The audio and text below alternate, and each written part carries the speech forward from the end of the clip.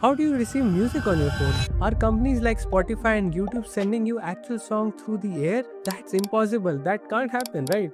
The only thing that they send you is a giant list of zeros and ones. So how do those boring numbers turn into beautiful music you hear? Let's understand that in just a minute. Now think of a song like a sound wave.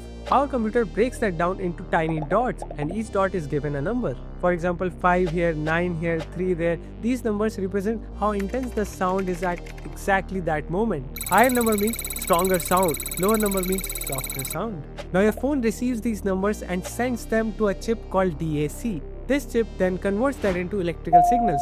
Big number, strong electrical push. Small number, weak electrical push. Those electrical pushes move your speaker in and out. This happens at 44,000 times every single second. And because it's so fast, our brain hears smooth music instead and not tiny dots of music.